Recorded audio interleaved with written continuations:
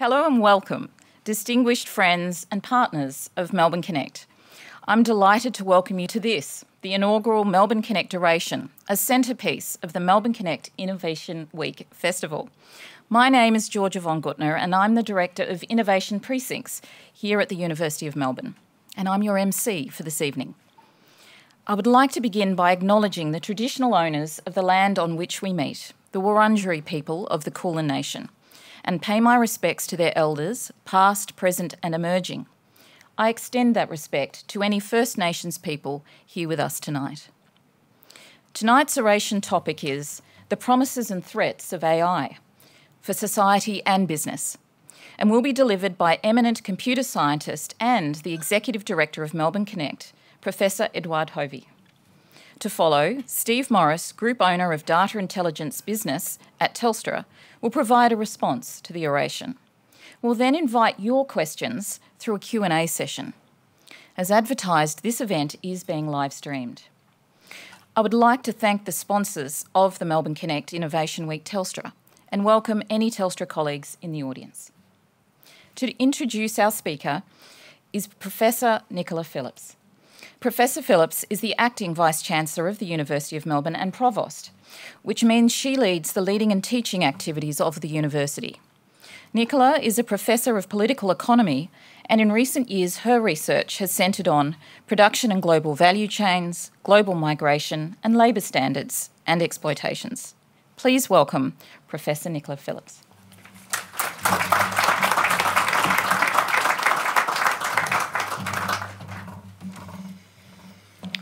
Thank you, Georgia, very much, and good evening to all of you. Um, I also acknowledge and pay my respects to the Wurundjeri people of the Kulin Nation on whose lands we're meeting this evening.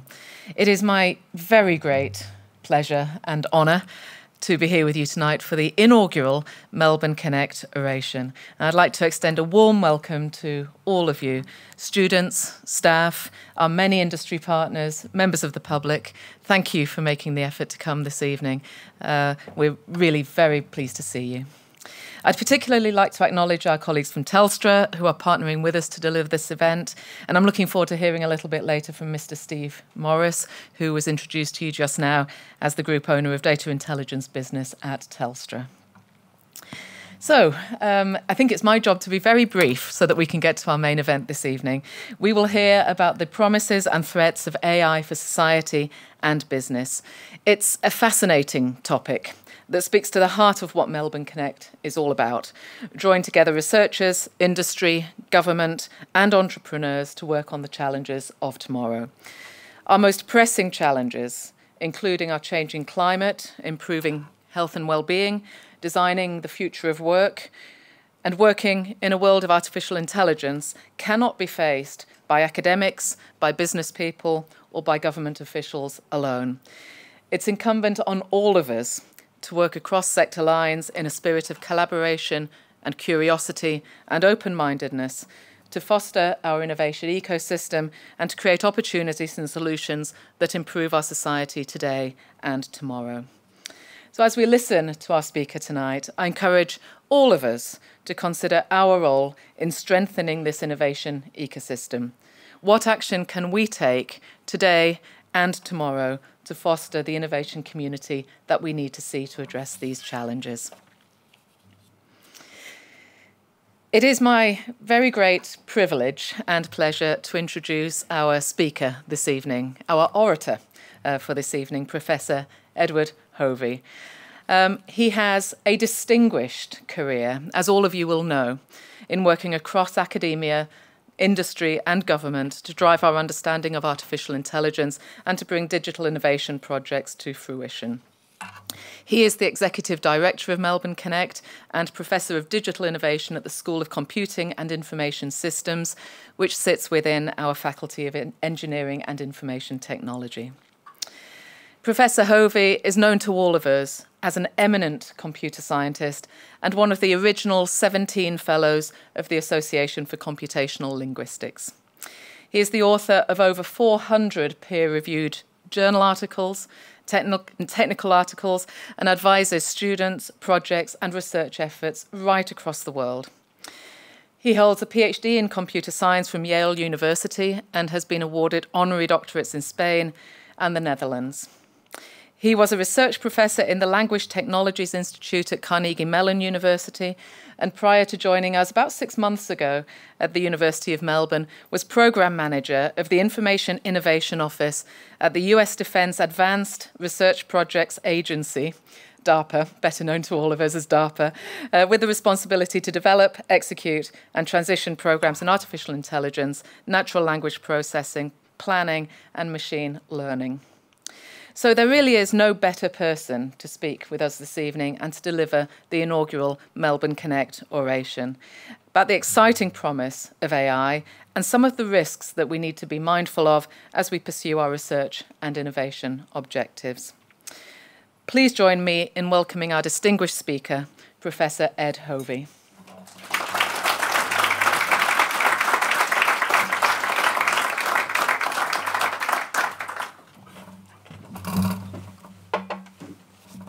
Good evening, dear Provost Nicola and dear DVCR Jim, other dignitaries here present, everybody else, friends, Telstra, thank you for coming. It's a little sort of intimidating standing here with the first, you know, oration from Melbourne Connect, but it's a chance to tell you a little bit about what AI is because it's something I've worked on all my research career, more than 35 years, and something I feel passionate about I started with AI because I thought it's an interesting thing. It's a way of understanding what happens in your mind, right? And not just sort of a theory, but something you can build a computer program to test. So it's sort of an empirically testable theory in some sense. And through the decades, it's become, I don't know, it's become happy and daunting to see the success of AI from the early dream to now the present time, to the fearful time that we're going into. And that's what I'd like to talk about here. Okay? Now, I don't want to give a sort of a technical lecture with mathematics and formulas and things because that's not the point of the evening. But I would like to give you a sense of how AI, how this magical AI works. As an intuitive sense, because that's something that if you can walk away with that understanding, you're armed, you're ready to speak to the challenges, to at least think about the challenges that we will all face in the next few years and the next decade and the next few decades, as long as we live. Soon we will not drive anymore, right? Because there'll be self driving cars. Soon a lot of the jobs we have will begin to vanish. All kinds of things are going to happen. Every advanced technology has killed people. AI will be no different. What are we going to do about it? Only if you have a sense of how AI works, sort of an intuitive sense, will you be able to say, this is hype, this is nonsense, this is real, this I better pay attention to, right? My job tonight, what I would like to do is give you a sense of just how that works, just a, an intuitive sense, okay? So let's begin with something very, very simple. Okay, well, let's, let's, do, let's stay on this for a moment. How many words do you know? Any guesses? Five? Pardon? 5,000. 10,000. Any more? Can we go higher? How many words do you know? Presumably you've spoken English, let's just say English, for most of your life. How many words do you know? You don't know how many words you know. Well, take a dictionary tonight, a big one, and open it at random and sort of see what percentage of the words you know. and open it again and see and work out that for and then look in the front that says I have there's so many words in this dictionary. You'll discover you know as an educated native English speaker, you know around 90,000 to 100,000 words. Not names, words, right? Not word forms, not like sing and sang, but just the root, okay? You know about 90,000 to 100,000 words as an educated English speaker. Now, when did you learn these words? When you were born, you knew no words, right? When you were about 21, which is about 7,000 days later, you knew, let's say, 70,000 words. That is to say, on average, you learned 10 new words per day. You learned 10 new words per day. Did you know that? Were you aware of that? Think what I'm saying. Every day of your life, when you were a small toddler all the way up to 21, you were learning 10 new words. The numbers don't lie. You know 90,000 or 70,000 at the age of 21. You knew zero at the age of zero. You learned 10 words a day. How did that happen? You didn't know that you were learning these words. Now, there's all kinds of fascinating stories I can tell you about this, but the point of my little exercise here is to say AI works in a sort of a magical way. It works in a hidden way that you're not aware of, but its effects are startling.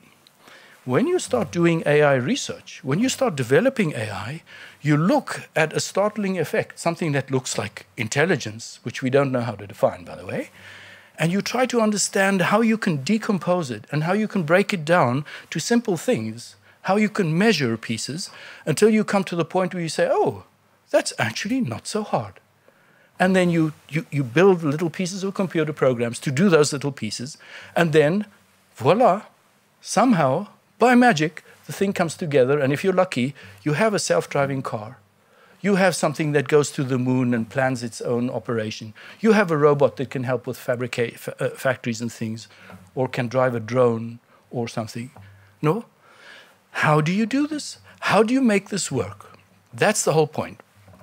AI started in 1956, just after the Second World War, when there was a conference in New Hampshire at Dartmouth College. About 10 people came, and they sat together and they, they identified six or eight areas language translation, planning, reasoning as the big AI sort of challenges. And they said in 10 years' time, computers should be able to do most of this, and then we'll be fine. Well, we are 70 years after that, and we still are only beginning to do this, but we are now beginning to do this. You cannot open a newspaper or uh, listen to a television um, report or something today without somewhere hearing AI or the echoes of AI. It's coming and it's coming fast, mostly because of neural networks in the last decade.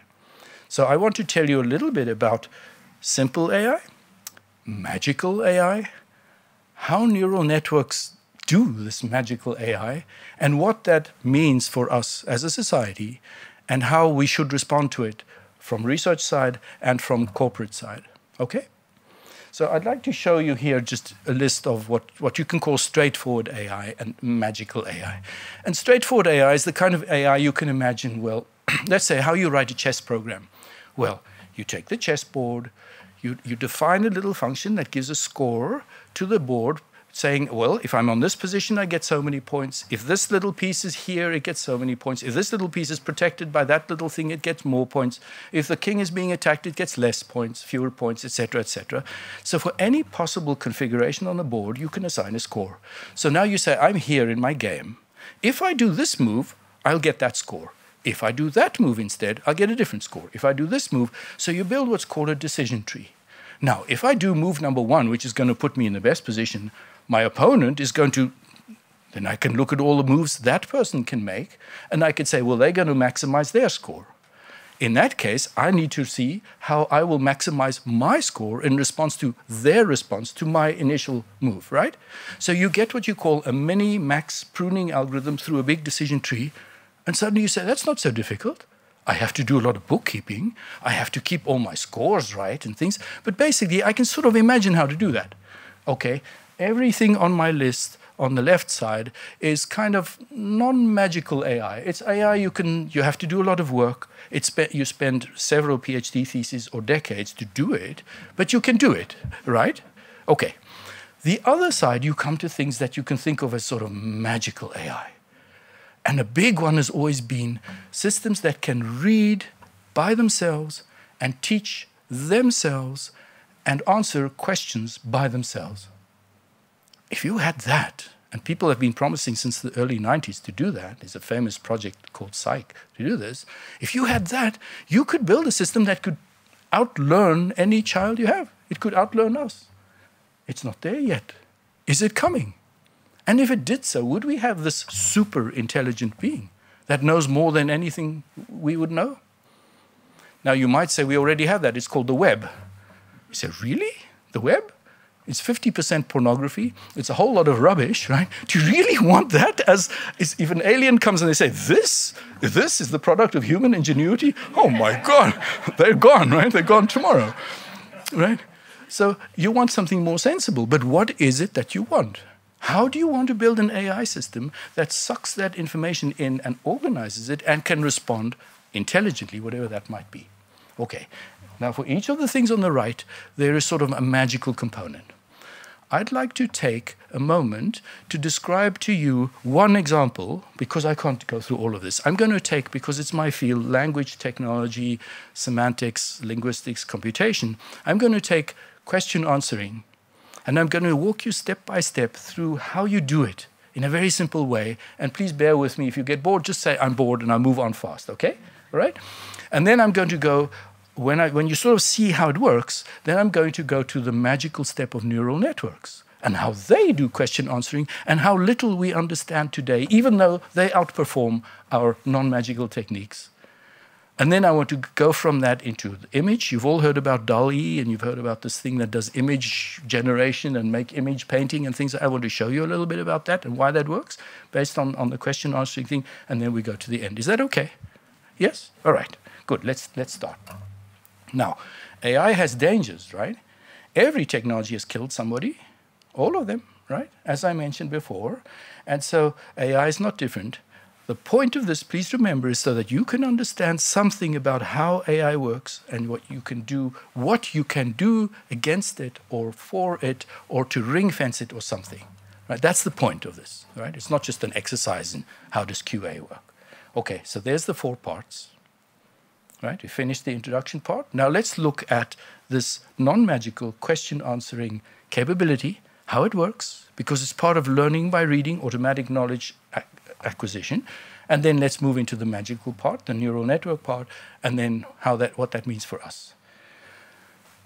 In 2003, I led a little project to try to see can we use the web as our encyclopedia. The, the art of question answering automatic question answering was very new then. So we built this system and we tested it. And so we had questions like, where, you can see there, right? Where do lobsters like to live? And it said, on the table. now, you can see why it said that, right? It's stupid, but it's not wrong. It's not crazy, right? You can see the logic. Another one here where are zebras most likely found in the dictionary? It is true that every dictionary of English you have, you will find the word zebra. You will find it there. Literally, it's correct. But it's not what I meant when I asked the question. What went wrong? What is it in your head that understands what I meant when I asked the question that it didn't know? You see what I'm saying? There's something more you communicate than when you just say the words. Another one there. How many people live in Chile? Nine. Well, at least nine live in Chile. It's correct. There are nine people in Chile. It's just we know there's more, right? Where did this come from? There was some airplane accident and nine people died. It found it said there's nine people in Chile. Yeah, it's right? And my favorite one, what is an invertebrate? Dukakis.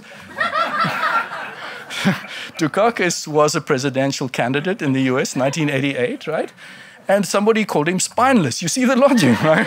so okay, he was. They asked him an, a very ugly question. They asked him on television because there was a case of Willie Horton who had murdered somebody, and they said, "Well, if somebody like Willie Horton murdered your wife, would you go for the death penalty to to to you know kill this murderer?" And he said, "No." And they said, You're spineless. And the Republicans painted him, and he lost the election, right? Completely, right?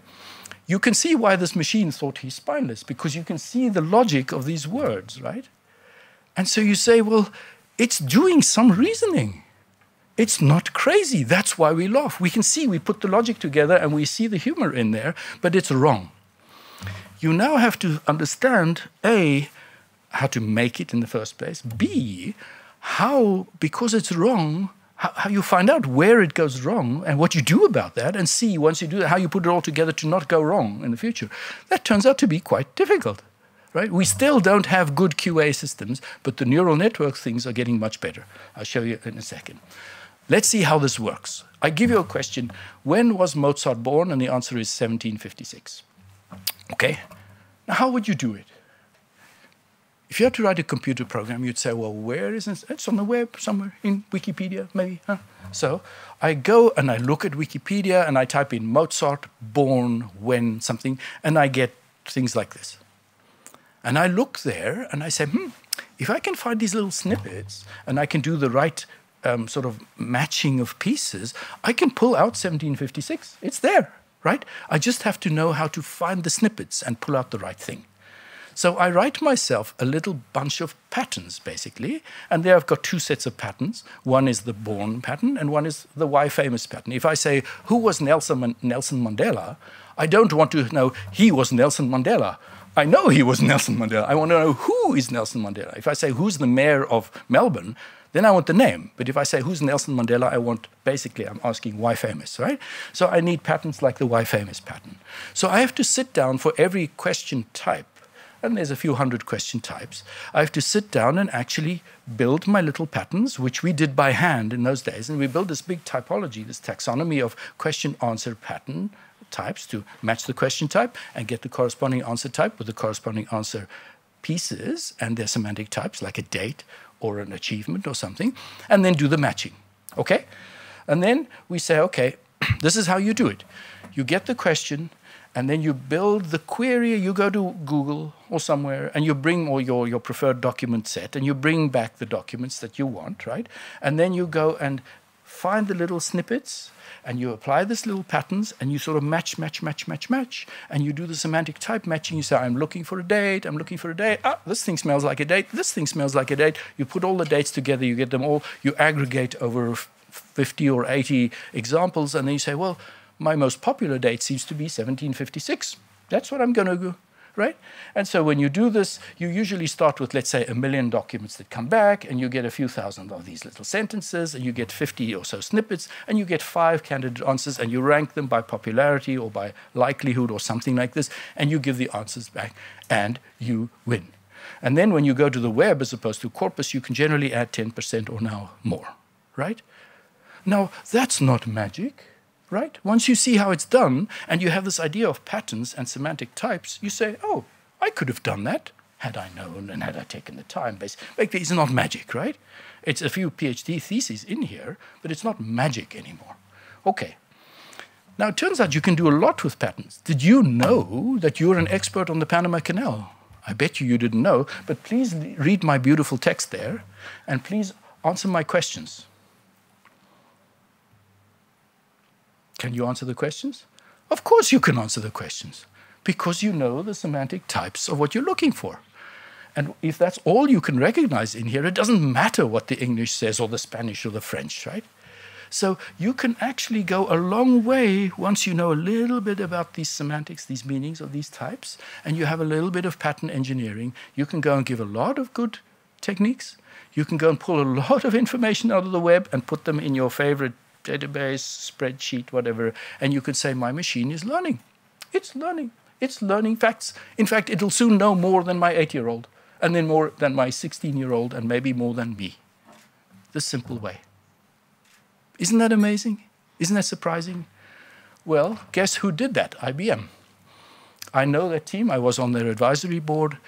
Uh, Dave Ferrucci and Chris Welty and others, they sat down and they said, We can do this. And they took all their programmers and they put them in two rooms with big long trestle tables and they said, hammer it, guys. And they hammered it. And they built 101 types. There was the why famous type, there was the when born type, there was the rhyming type, there was all crazy types based on the kinds of questions that you get in this Jeopardy game. I don't know if you ever ha had a chance to see the game, but it was interesting to watch. This is a real television show with people who stand up there and answer questions and race one another to, to, to get, you know, who, who gets to answer first. And you win sometimes. The guy on the left there, his name is Ken Jennings. He was the best. He won tens of millions of dollars in this game. The guy on the right was the second best scorer. And the thing in the middle was the system Watson, which you've no doubt heard of, right? And the system Watson they built with computers that were locked, cut off from the internet. They had all the storage in there. Sony, who owns the game, Sony Corporation, they made very strict rules about how you're going to have this game to make sure it's a real competition between human and machine. And the machine won. The machine won. Now, it was lucky. If you look at this little graph, which I got from them, and you look on the bottom axis, the x axis, that says just what's the confidence that you are that you have the answer correct, right? How sure is the system that it's correct? Because it's got a lot of different evidence, and if all the evidence points to one place, it's pretty confident stuff. And on the y-axis is how correct is it? Is it actually right? So if you look at this bottom little brown line, when they started building the system, it was pretty crappy. Its score is lower, no? And it didn't have much of an idea of confidence. But as it went up month by month, three months by three months, they just put in more patterns. It was a pattern based system. They wrote patterns like crazy, these people, and they put them in. And, and, and you can see the lines go up. That means it's more and more and more correct. And you also see on the right hand side, it's more and more correct. So it, it's more and more confident of the answers it gives. Now, the way it was written is if it's not confident enough, it spends a little more time, another few seconds thinking and getting more evidence.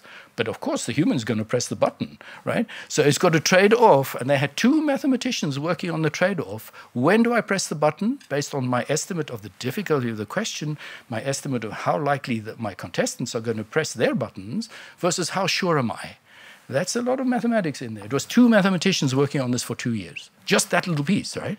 So it's not a simple thing to do, but it's conceptually, now that you understand how patterns work, not difficult to understand either, right? Right? Okay. So at the top there, you see the top bar, and you see those little light blue dots. Those are the dots of all the games that Ken Jennings played. And you can see in general, Ken Jennings is better than this system. They were very lucky to win that night. What happened was there's some boxes where you get double score, and Ken had the chance and he chose the wrong box. He thought the double score was there, and when it wasn't the double score, you can see on his face, he's like, oh my God, I lost this thing because I don't get the double points. And so, and as soon as he gave his answer, which was correct on that one, the machine chose the other candidate box for double score. It was double score, it was right, and it beat him. And they never, ever played the game on television again. No, of course not, because they would lose against Ken, right? They would have to play about 75 games to get a statistically valid average for the, the, the, level of, the, of this thing. And you can see it's not as good as Ken Jennings. However, they did win that one. And they stuck with this. They won a lot of money. They made a lot of money for IBM. IBM was selling its Watson system for a million dollars a shot with no knowledge in. And then once you bought this, you discover the thing's empty, and you go back to them and say, well, it's going to cost you another million dollars to populate it. Right? So they get their $2 million. They gave um, Ferrucci and Chris Welty $50,000 each as a prize. Guess where those two guys are working? One has got his own company, and the other one went off to Google. Neither of them is with IBM anymore. Okay, you've got to look after your researchers when they do something nice for you. And we take that to heart too. All right. Now, this is what their slide is of what it looks like. And I'm not going to go along with this, but there's a lot of boxes. And what you see is when the question comes in, the thing sort of propagates, it propagates question variations, types of things, candidates, snippets, answers, and comes up to thousands of thousands, and then it filters them down and gives you its ranking of the answers. That's sort of the feeling. So there's a lot of pieces in here. Not an easy thing to build, but conceptually not that hard to understand. Okay? All right? You're with me, right? Okay. Now let's move to the magic. About 10, 12 years ago, neural networks entered the public discourse. They had been worked on for since the 1970s. A neural network is a slightly different way of computing.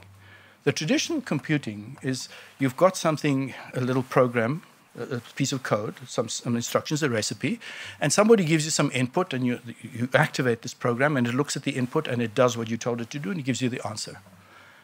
Now imagine you say, well, I don't want to do that. I want to take a tiny little thing that takes some, some piece of in, some abstracted input and does some numerical computation and gives some abstracted output.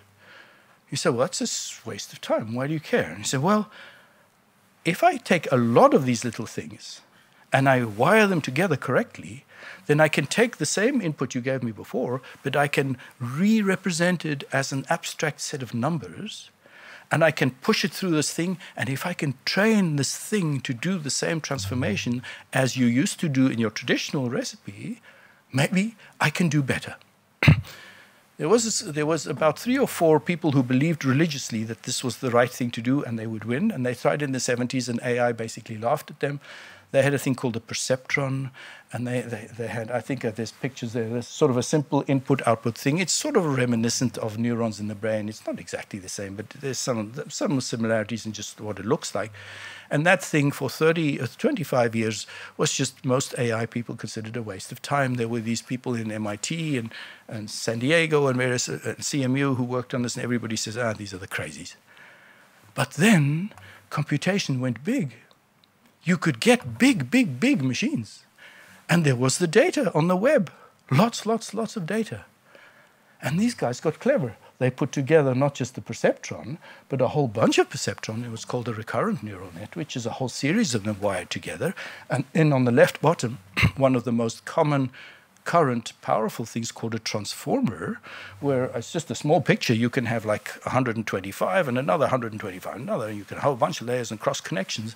And now, now, when you start putting a lot of data through that thing, and you've got some magical where the little sigma is, a summation function, you have a different a nonlinear function, it's called a tan H function or something, suddenly, just suddenly, the magic happens. What happens is you've got your your words which you feed in, and instead of the English symbol, the word, you make a little vector of, let's say, 100 positions, and you just put numbers in, a random numbers. You don't care what number, you just give it some numbers in there.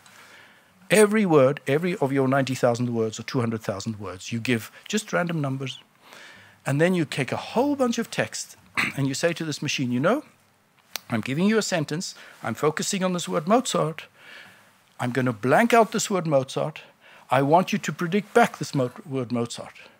It's called a, a, a, it's an autoencoder. It's encoding its own representation. So it looks at all these words and says, you know, every time you give me Mozart, I'm seeing things like compose and Vienna and Salzburg and 1756 and opera and music. All those words have their little numbers, but somehow when I see a sort of a pattern of numbers, those numbers must point me back to the Mozart pattern. Now, I don't know how to describe it better. I'm sorry. I just can't describe it in English better. But what happens is when you feed 100,000 or 200,000 or a million examples of sentences with Mozart through this thing, and it guesses wrong the first time, and you say, hmm, Mm, that's wrong, okay? But when it guesses right, you say, oh, that's right. When it guesses wrong, you take the numbers and you push them back down. It's called back propagation. And in each little circle there, there's a little function, little formula, and you make it go higher and lower. And on each little line, there's a little number that says, oh, this is a good one. You can, you, you can take this helped me when I was right.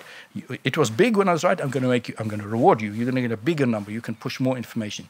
You, you helped me, you little line or you little circle, and you helped me get the wrong answer, I'm going to depress you.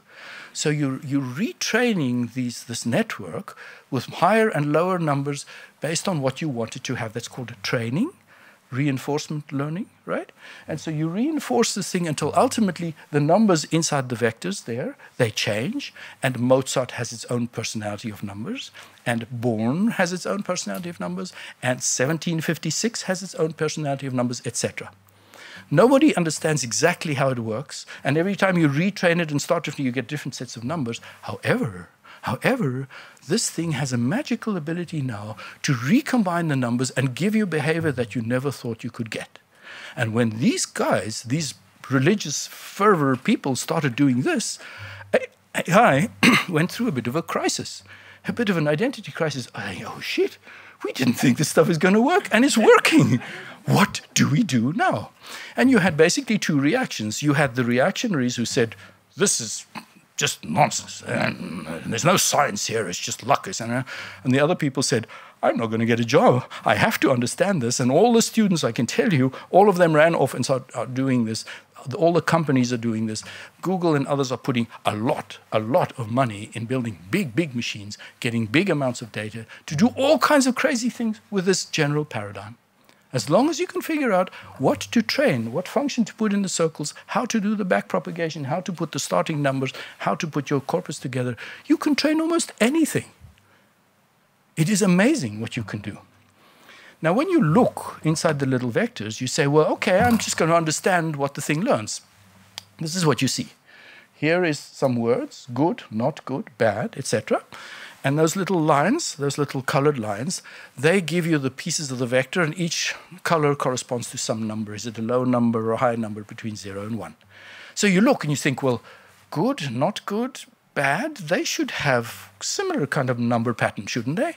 Because they're different from Mozart and they're different from 1756 and 1982. Those dates should have a similar pattern and stuff. I invite you, I invite you to find the, say, the little number patterns. I thought about 10 years ago that I would find the not operator pattern, that I could take white and put the not pattern and multiply them together and get black, and take happy and take that same not pattern and multiply together and get sad and short and tall. And I had a student working on this, one of my good students, for about nine months. She couldn't find anything. There isn't a not pattern. I don't know how this works, and I don't think anybody knows exactly how this works. All we know is you do some kind of decomposition and you get some kind of patterns based on the task that you have, and you get these patterns, and they reflect somehow what's inside these words and how they combine with one another. That's the best I can do to describe to you. Okay? I'm sorry. So please don't switch off because it's not bad news in some sense. Here is sort of a picture of word clusters. When you start throwing, you say, I don't care about the patterns, but I'm going to look at how the words cluster in some representation space, we call it. And uh, you can't see this, so don't worry. Take my word for it. These words cluster together. You have the, the, the colors, and you have the dates, and you have the this. They do when these representations come out and you put them into two dimensional representation spaces like this, or three dimensional boxes, you can actually find clusters. Now, now we get to the actual magic, and then I'll stop with the heavy stuff. It's okay, right? So please don't go sleep yet. This is kind of important to listen to, right? Now we come to what they call large language models. If you take a neural network like this, and you say, well, i have got my little training data, I want to do something. But, say the eager, hungry, arrogant people in Google and OpenMind, Elon Musk's company, OpenAI, and other places like that, they say, I'm going to read most of the web. And I'm going to put all this knowledge in the web, minus maybe the pornography, into my, my, my, my, my machine, right? So it's going to have its numbers having all the sentences in the web in there. And I'm going to train it by just taking sentences and pulling out one word and saying, predict me this word, please. And it's going to look at all the stuff. And when it predicts the right one, I'm going to reward that configuration of numbers. If it predicts the wrong one, I'm going to punish them through the back propagation up and down and up and down. And it's going to take me nine months, a year, two years on big machines, taking a lot of energy. I heard somebody say today who knows about this thing to train one of these large language models takes as much electricity as an average Australian house uses in 40 years. And I believe that number, right? There's a big ecological footprint on what these things are doing. But, but when they build these large language models, they have essentially an a representation, an encoding of the world's knowledge in there. Now, we can't read it as humans. I'll show you sort of what it looks like. But you can ask questions, and it gives you better answers than any other system, any non magical system we can devise. And we don't know how the damn thing works. That's the frustration. We don't really know how it works. But we use it all the time. This is the big problem for society today. AI people can build phenomenal things using this technology, but they don't know really how it works. And when it makes a mistake, it thinks it's good. It has no notion of when it's not good. And we don't know how to diagnose when it's good or not. So we're struggling here with a problem, which is what I want to get to at the end. So imagine we have this neural network. Let's see a bit how it works, right? We have all these little nodes. And we start putting in sentences about Mozart. So we go to the web and we just pull out a whole bunch of sentences, we throw them in there. This is the best slide I could make just to show the confusion. It's in there somewhere, okay? Trust me, okay? Now I give a question. And the question gets eaten up by the system and goes into the same place.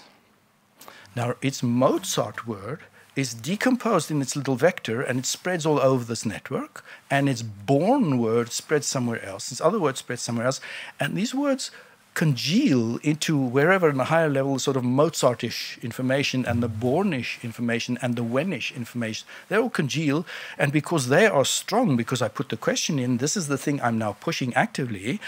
When they come together in their pattern, the thing that typically associates with Mozart-ish and Wen-ish and Born-ish is 1756. It's just the thing that many, many training examples in the corpus it's read, two thirds of the web, happen to go together.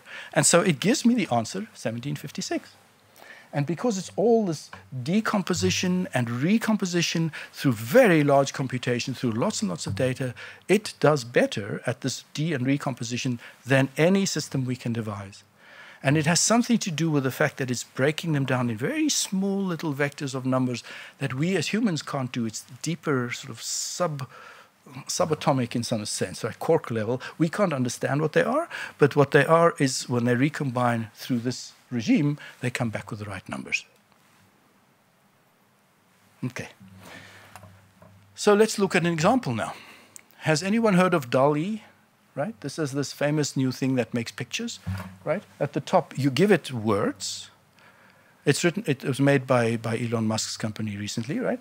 So you give it words like Napoleon as a cat with cheese, and you watch, and it draws you a picture. And you give it words again, and it watch draws you another picture. It just keeps going. That's not a bad picture. The second picture up there is a prize, is a prize-winning piece of art that the system made. And last week, in some art competition, it actually won the prize, right? And the bottom one there, it shows how it took Vermeer's painting and do this, and, you, and, and how it can take Charles Darwin and show you different perspectives. It does amazing things. Now, how does it work? It starts with a backdrop of just random pixels. You give it a word, right? Like baboon or raccoon or something like this, it goes through its distributed memory and says, well, what is an image? Because you don't only have to give it words, you can give it pictures. What does a raccoonish image look like? There's a nose-ish piece, and there's a tail-ish piece, and there's a fur-ish piece, and there's a whatever it is, and it's all scattered. Let me see, because they're all sort of pixel maps, which of these pixel maps matches best to what I have? Ah, here is a match. Let me just reinforce these and weaken the other ones. Well, you've reinforced some, it says, oh, now I can reinforce others. You go round and round and round, and you watch magically as this thing comes and reinforces itself into that picture. And when you run it again, it starts with a different random pattern, it gives you a different picture. That's how it works, right? So here's a little mm, one and a half minute clip on exactly how this works, right? So there you take the Vermeer, the famous Vermeer girl with the pearl earring, and you go and say, well, okay, what must I do? I want to take this picture now and I want to do something with it. I, I, I go and I choose the size of my brush. This is literally step by step how you can use the software. I'm going to say, I'm going to paint that blue part out. I want the system to do something new from its own invention, that, that blue part. And so I'm going to tell it what I want. I want red, roses, hat. So it goes and said reddish, roses-ish, hat-ish in this context on this, and it finds its stuff and matches it in and puts it there. Now you go to Monet and you say the same with a hat and it makes different hats, many different hats. Now you say, well, okay, I don't want to just make her hat, I want to do around the context. Please imagine for me where she was sitting. So I paint around the context and I say, fill that space in. And it just says, well, I know what it looks like here. I'm going to do sort of matching of my patterns of images that fit that context, and I'm just going to keep going. And so it starts making more and more different contexts for you. And they look right because they match the initial given contexts, right? Isn't that amazing? Isn't that astounding what this thing does? You can do the same here with this famous, you know, farmers, this picture by, I forget who it was. And so you choose there, and just one more second, and we can go on. So I want to show just how it chooses the right, you give the context. See, now it chooses backgrounds which are completely different from the Monet backgrounds, but contextually completely okay. Right? So neural networks are too easy and too good. Any graduate student can use them. I applied to use DALL-E yesterday. They gave me permission this morning. I can set it up. I can use it on my laptop anytime. I just I link into their thing. They go right.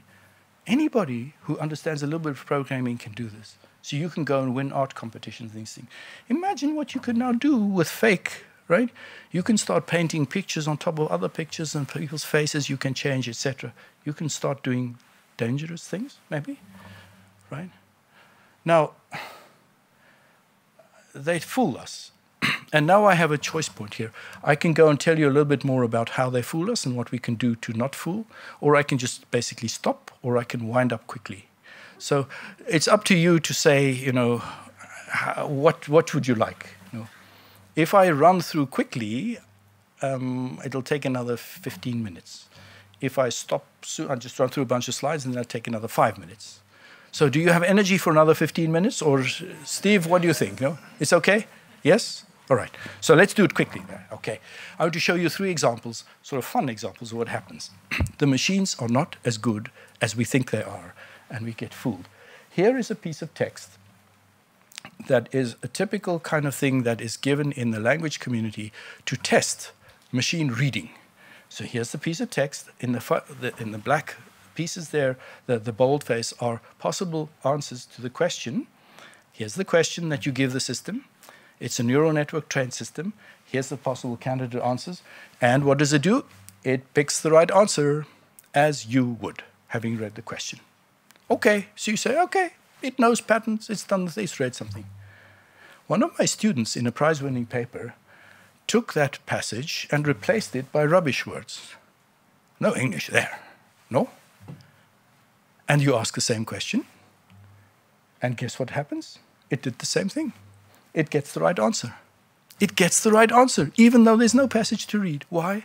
Because when you look at the question, there's a bunch of these political words, politician words. If you look at the four candidate answers, there you see that some of them are politicians. One of them is a, a, freight company. One of them is just nobody in the internet and things. And so it just happened to say, well, you're giving me these candidates. I'm looking at your question. I'm not reading, I'm just matching. I'm short circuiting the whole operation. Now, many, many AI papers and researchers don't bother to check that they're being short circuited. And they make all kinds of outlandish claims, and the press picks us up, and we read this and we become afraid. Don't be afraid, be a little hard nosed and say, Excuse me, have you done your homework? Okay? That's an important thing. Let's look at GPT 3, which is a very famous big program language model, people claimed uh, in a paper two years ago that it can do addition. It can add numbers. It's never been taught to add numbers. It just read a lot of the web. If you look at this graph there, the, the bottom axis shows you how much of the web it has read. 175 billion parameters means a big proportion of the English web has gone through this machine. All of Wikipedia, all kinds of things. Right? A lot. That's a lot of words in 175 billion. Right? It takes a long time to train this thing. You look at the y-axis and it shows you how correct this thing is. If you look at number one there or number two, it shows you two, two digit addition, just saying 15 and 15, it can do. Three digit additions, 127 plus 499 plus 372, it can do, but not as well. If you look at number four, four digit additions, it cannot do this nearly as well. If you look at number five, you say, Excuse me, GPT 3 enthusiasts, why is your machine able to add when it's two numbers, just two digits and two digits, but not when it's four and four? If I give it to my eight year olds, they can do, they can do two digits, they can do four digits and five digits. Why can your machine not do this? Well, what's happening is it's got tables like this on the internet. It read them, it memorized them. It didn't know the logic of addition, it just memorized things. So, what I did, I did this little perverse little test there. I said, okay, GPT 3, here I'm going to define a new operator called plus plus, right? And so 2 plus plus, does it, does it show the plus plus there? Yes, okay. So I'm defining 2 plus plus 1 as 2 plus 1 and another one, right? And that's 4. I'm defining that new to you. So GPT-3 has never seen this thing. And I gave this to my eight-year-olds, my seven-year-olds then, and I say, please do the sum. I gave them exactly there, that, what you see there. And they, they looked and they said, minus, minus, well, he probably means subtract twice the second thing. They filled in, they got correct. GPT-3 died all over the place. It had no idea what to do, right? Because it hadn't been trained. So this is the second question. Make sure your researchers who are claiming things have done their homework and tested the edge cases and things. And the same thing, make sure that they understand that, that, that they know exactly what's the parameters of what this thing is being trained to do and what's outside, and that they don't stray and make claims outside of what it's allowed to, what it's been trained to do, because then they get into this trouble. Right. Story generation. Here's another thing by GPT-2's predecessor there was a big hype when it was announced where people said this thing can generate English. You give it a little paragraph, and then it just happily generates a story for you. And they said it's too dangerous to give to the public. They said because the public will go and do all kinds of mis and disinformation, all kinds of things like this, and generate all kinds of things people will believe. They said. So here's a paragraph of what it actually generated in response. I don't have time to read all through this thing, but when you start asking specific questions about the, what's inside this paragraph, how does sentence one conform to sentence four, conform to sentence seven, you discover there's no logic. This thing doesn't know what it's talking about. It's just spinning out sentences and then looks at the previous part of the previous sentence and it applies some patterns and continues and continues. It just happily goes crazy. It's not doing anything that anybody would take seriously. Certainly, Mr. Putin and his friends, he's up in Leningrad who are busy building this, this misinformation institute there for us. They don't use this, I can tell you. No human being would be fooled by this thing. so the big claim, the big bombast, is just noise, right? So be a little skeptical when AI people come and they give you all the bombast and the rhetoric and how dangerous this thing is, because often it's just noise. Okay? Now, now the last five minutes, just a lot of pictures, right? Because I don't have any answers. We always hear about these as the AI threats right? There's going to be long, uh, the jobs will be lost. It's true, jobs will be lost, but we're going to have to do something. That's a social problem, not a technical problem. Or the face recognition, you know, people in China being monitored where they are and things. It's true, it's happening. We have to figure out how to do this. People are going to wear stuff. I don't know. People will wear masks that look realistic. I don't know what people will figure it out. No, this this business about about starting luddite reactions and things like that. It's all going to happen, but and it's a social problem we have to, as AI people, actually work to make sure that when these things do come about, they come about in a properly informed and well structured way, as opposed to just a lot of bombast with a lot of mistakes and things. That's the best we can do. What is happening today, as a real step, is that jobs are being lost. Here are places where real jobs are being lost today. And I don't know what we can do about that. You can't stop progress. You can't stop automation. Often the automation things are better than people. It's better to put robots picking things than to employ Mexicans or, or, or Malaysians or something in inhuman conditions to work at that speed. It just is better. But then you must do something to give Mexicans and, and Malaysians and whatever their, their, their lives, right? Otherwise, you get the Trump phenomenon where people have no jobs, they're angry, and they vote for someone like Trump. You cannot countenance that, right? Right? Right? We have to be very careful what's happening. No? The jobs that I can think of that are not amenable to AI, and I can't think of was the warmth of a nurse, the magic or, or charisma of Trump or some politician, right? That sort of thing. There are not many of them. Every job has a lot of routine stuff where AI can help. It's going to happen. So we better be ready for it. So the best way I can think of being ready for it is telling our students and our our, our population how to fix, how to make sure that when the AI is doing something, it's doing what's advertised to do, and we have tested it properly. Okay? So we have to be sure that we don't inadvertently overclaim and make all kinds of Luddite reactions happen when they shouldn't happen. And we have to make sure that when there's a real danger, we alert everybody to the real danger so that we can develop things to block that. Right? So here at Melbourne Connect, we are aware of this problem, actually very aware of this problem. And we have both in the, in the research side and in the industry side, people looking at this in different ways from their different perspectives. Right, so Melbourne Connect, one slide, the, the point is to take the ideas and the needs of companies, of industry, and go look at the research, what the potential are, and bridge that gap, close the chasm, and carry new ideas out from research land into application land, real world land, and let it run and make, make society better. But we have to be careful in that transition that we do the ethically responsible, socially responsible AI activity, right?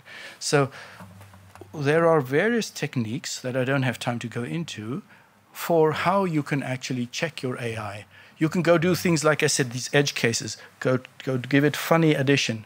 Go give it strange texts to read. Go look at that. There are ways you can say, explain yourself, AI machine. Tell me why you did. Give me your vector and give me an explanation for why your vector looks this way. There are people working on that all the time. There are ways. There are other ways of, of designing the software and em embedding it in simulation environments so that it actually is tested before it's gone out. And we don't in AI land do enough of that. That's something we as a society must mandate. We must mandate in Melbourne Connect, we have a lot of, of people aware of this problem from the digital health um, center upstairs there, right? Uh, people who are showing how you actually embed your technology inside human like spaces, and you can watch what happens. You can study when people make mistakes, when they have a mis misunderstanding, or when they, when they do things wrongly. There is the Center for AI Ethics upstairs, where people look at this and say, what are the ethical implications of this AI? And why are you employing this AI? Maybe you shouldn't even employ this AI. Why should we be working with defense industries or not working with defense industries? What are the arguments for and against? When is AI dangerous and when is AI good? It's a nuanced situation. There's no single right answer. It's a very difficult thing that we have to keep working on, all of us together. Right? If you're an AI researcher, you sit there with the responsibility to do your work properly. If you're not an AI res uh, researcher, you sit there with the responsibility of putting the finger on the AI research and saying, do your work properly. Did you test your thing? Are there ethical implications? Tell me. I can tell you in all our conference papers now in my field, we have to write the ethical impact statement in every paper. And it's difficult for some of these students. They come from countries where there's no concern about ethics. Suddenly they have to learn a lot of things about ethical behavior, right? It's a damn good thing, too, right? The more we put this into research right at the ground floor, the better we are for all of us. Thank you very much.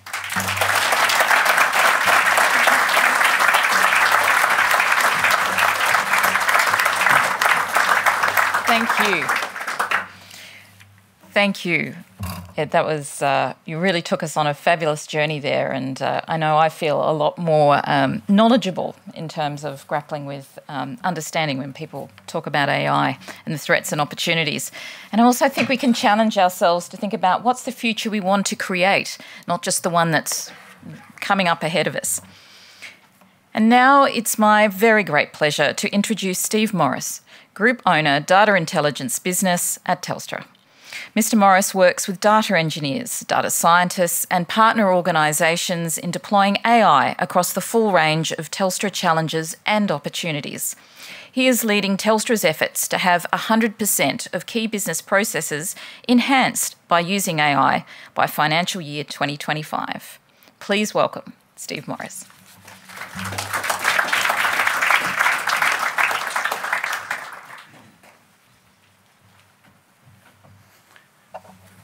Good evening, everyone, and thank you, Professor Hovy, for a truly inspiring presentation. It's great to see um, minds like yours at work.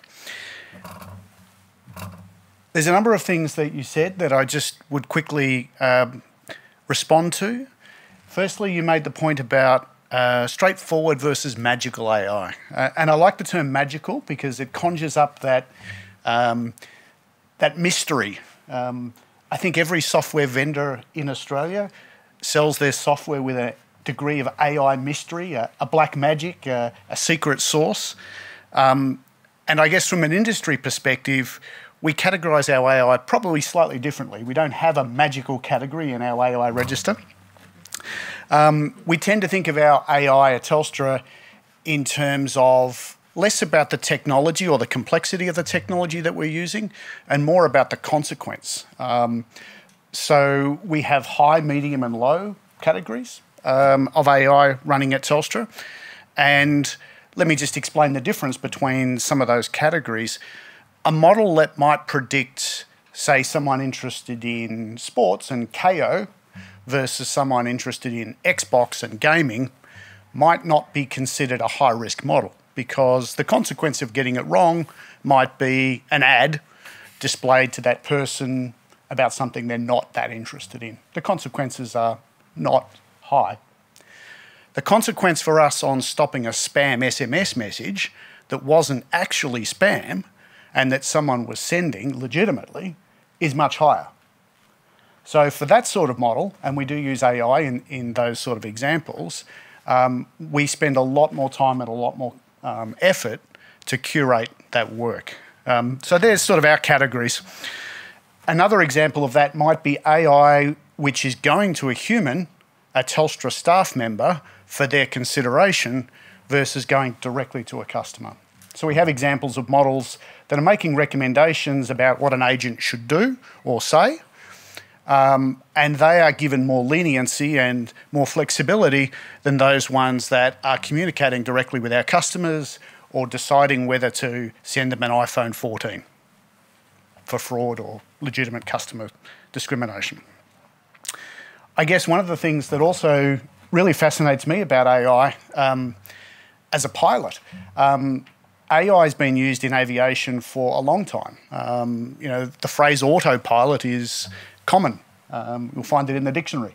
Um, it's it's that interesting handoff between when does a human trust the machine, and when does the human take over, or if you're familiar with aviation, in some cases the autopilot switches itself off because it's got itself into a circumstance that it doesn't fully comprehend. And it's almost that hospital hand pass back to a human. I don't understand what's going on. And that really fascinates me personally. So, so our categories are, are probably not straightforward versus magical, but we do have categories of our AI. Um, on neural networks, um, I'm interested in neural networks. We don't have a lot of neural networks running at Telstra in production. Um, one of the reasons, and if you type into your favourite search engine, your AI powered search engine, Telstra AI, you'll land on a page um, which talks about uh, our ethical principles in regards to AI. It's the, it's the first ranking response. We actually list eight Australian AI principles that we were um, co-developed uh, and that we're part, part of. One of those is transparency, which means we need to be able to explain why the model is performing the way it is. And as you heard Professor Hovy discuss, neural networks are very difficult to explain. So there are some circumstances, some high risk circumstances that we don't presently use neural networks in, simply because we can't fully explain to our customers or ourselves why the decision was how it is. Um, some of the other principles, just for your um, interest, fairness, contestability, the ability to go to a model and say, or to have a customer go to a model and say, we'd like to understand the reason for this, and accountability, having something owned by a human is important as well. Um, also in the uh, results, if you type in Telstra AI, you will see, um, as was said in the introduction, our objective to have um, 100% of key business processes AI enabled by 2025, and that's something that I'm actively working on with some of my colleagues.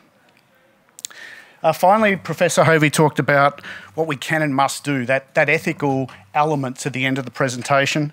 Um, and where I see AI moving to, in, large corporates at least, is it's moving out of the preserve of a few to become uh, the domain of the many. So what we're seeing is less and less uh, AI being talked about only by data scientists, and we're seeing more um, subject matter experts, more engineering experts, more end users using AI, whether they realise it or not. And in some cases, the products from our leading providers um, of AI tooling, like Microsoft, for example, are stratified for auto ML, the sort of ML machine learning that an end user uses almost without realizing it, built into a desktop package or an API that you call without realizing it. Uh, a designer element, which is more drag and drop, where someone uh, of a more engineering or a data centric um, training can use it without being a data scientist. And then finally, the notebooks and the Python that our data scientists typically use. So we're seeing a diversification and a spreading of the tooling in corporate, um, which I think is um, really helpful. Um, there's a lot of other AI that we get presented with uh, from vendors, as I mentioned, from internal staff. There's lots of opportunities for AI in corporate part of our challenge is to discriminate between um, those things that are really desirable, those things that are viable, and those things that are feasible. Um, we have a lot more ideas than we actually put into production. So having that structured mentality about when to use AI is very important for Telstra. And finally, um, the least sexy part of AI, um, but one of the most um, practical challenges that we face as a large entity is operating AI well. Um, you don't have a network and not operate it. You don't have an IT system and not operate it.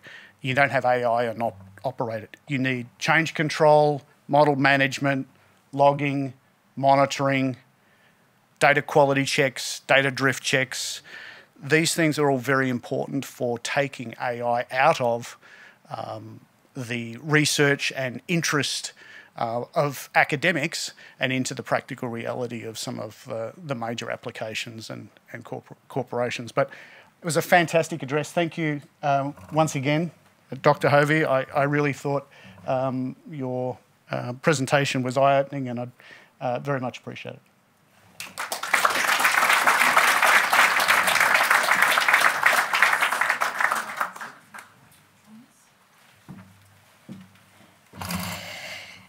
And now it's over to you. We would really warmly like to invite you to ask some questions. We've got incredible knowledge and great perspective here with Steve and Ed. We have some roving mics here in the uh, here in the room with us, ready to take your questions. We're using the mics particularly so that uh, those who are joining us uh, live streaming can hear your questions. And I warmly invite you as you ask your question, if you could share with us perhaps your name and where you're from. Um, if you feel comfortable to do so, that'd be lovely too. So, do I have any questions from the audience? Yes, over here. Thank you very much. Hi, my name's Laura Mossman from the Centre for Wellbeing Science. I have a question about the programming of the vectors and um, just AI in general. How vulnerable is it to the diversity of the people that are programming those vectors? So I'm thinking like, does it incorporate age diversity and cultural diversity and Indigenous views? So that's my question. Thank you. Yes, Ed, if you could answer I think that that's question. a fantastic question and a very, very topical one now as as people started using these models, one of the first models they used, actually, it was trained on a lot of text in Reddit and Twitter and things, and within about less than nine hours, it took on an extremely racist and ugly personality. It was just racist and, uh, you know, anti-Nazi, pro-Nazi, all kinds of things like this. And the scientists, this was in Seattle, they looked and they said, Well, that's the data. I'm a scientist. Thank you very much.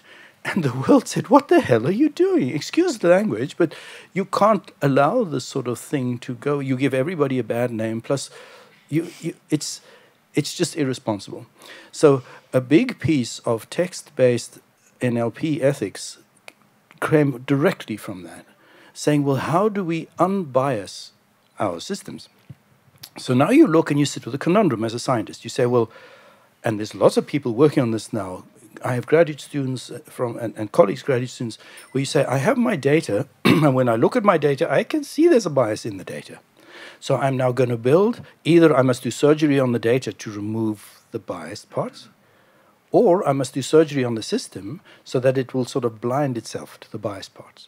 If I do either, I am messing around with the scientific integrity of my system, right? I'm not a scientist anymore. I'm now a politically informed scientist, which can go the wrong way too, right? When, when the communist masters or somebody tell me what to do, you know, etc.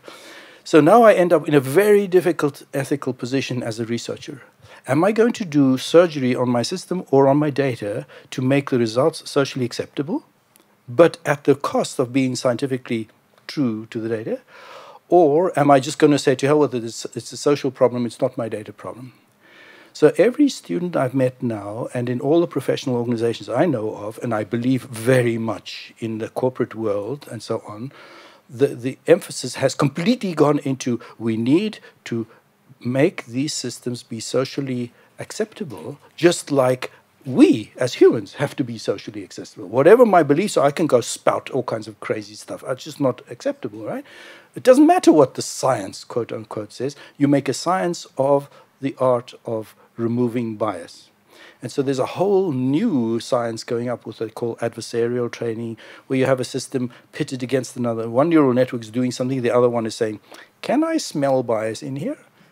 Hmm? Yes, no? Okay, there's a bias. I need to retrain this thing with backpropagation. Fix. If I cannot smell bias in here, you're okay, right? So you pit these systems against one another. That's one of the approaches people take. But it is a very important question because as a scientist, you cannot predict what's going to be the next hot topic tomorrow.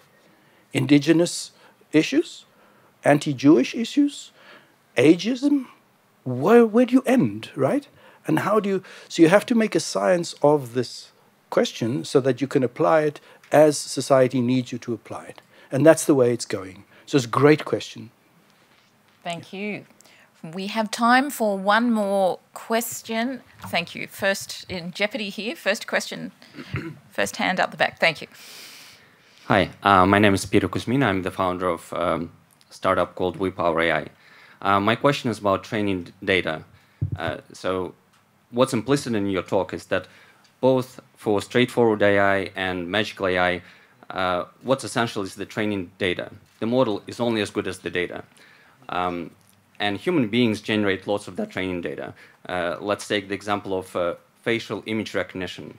Um, if the model is trained on only white males, it will be really bad at recognizing dark-skinned uh, subjects. Um, so the question is about the future of training data um, it, clearly data has lots of value, and um, right now in different uh, countries around the world, the attitude towards that training data is very different.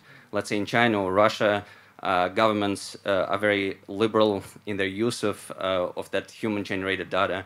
They just use it for uh, training these really powerful algorithms, um, and they're getting more advanced. Whereas in Western countries, there is more uh, respect for the ownership of the uh, data, and uh, it, it, it, actually poses uh, challenges for developers who actually need to pay lots lots of money for, for that training data. So the question is, what do you believe is the future for the ethics, the economics of training data?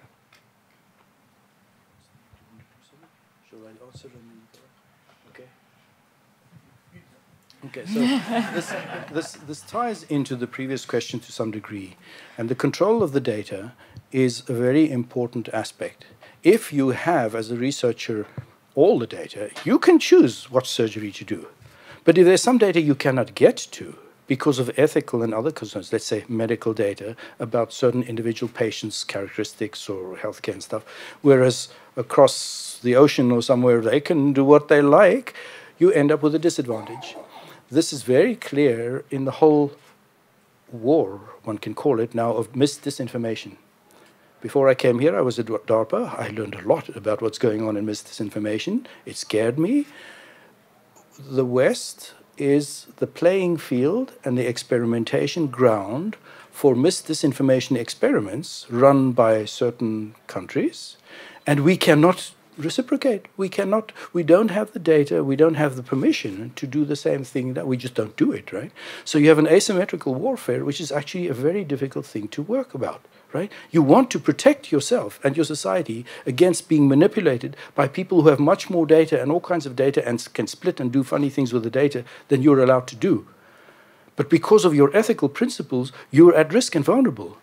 How you negotiate this and how you work on this question is a very, very, very difficult challenge, and we have to protect ourselves.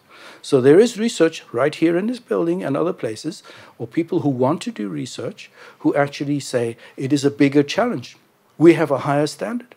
We have to do research that with limited data, with admittedly controls on certain things, we can still do data imputation, guessing, doing other kinds of techniques so that we can still respond and protect ourselves against these challenges and do the right thing. It's just more difficult. It'll take us longer. And we have to protect ourselves, but we have to do it. There is no choice, no question. Right? So this is an interesting issue, another interesting issue, like you brought up, in a different part of social space. Now, I'm sure that in companies you have exactly the same problem, right? You have data that you could use but are not allowed to use, or that you want to use but is questionable and stuff. You have all kinds of data control policies, no? Yeah. Uh, yes, Telstra takes the data of its customers very seriously. There are some classes of data that are highly restricted uh, under our classification system, an example of which would be location data derived from mobile phone networks. Um, but generally speaking, we we redact uh, and remove sensitive data to the maximum extent possible. Sometimes we tokenize it um, or hash it as well, uh, depending on the circumstance. But I think all all Australian corporates are very protective of um, their customers' data um, to, to, the extent that I've seen, and certainly we don't work in, with the sort of data that you've um, referenced as with facial recognition technology or, or those sorts of things. Thank you. And very sadly, uh, I need to wrap up right there. But uh, I felt we were just just at the tip of some even more exciting questions. Of course, you may have the opportunity to catch Steve and Ed at the end of this or to follow up. We are Melbourne Connect for a reason. If there's any further questions you'd like to hook through, uh, please reach out to us and we'd be delighted to um, follow those up for you. So, this brings me to the conclusion of our evening and to thank our speakers, Professor Eduard Hovy and Steve Morris and particularly you, the audience, for joining us and for making this possible. I think what you've heard is that these are exciting times. Yes, there are some scary challenges. As you've heard, I'm really keen personally that we think about what's the future we want to create and how we engage with these technologies in the way that Ed and Steve had outlined. And how can we contribute? How can we participate uh, in this really um, emerging and important field? So, good night, safe travels to wherever you're going next, and I hope to see you again back here at Melbourne Connect. And this concludes the oration for this evening.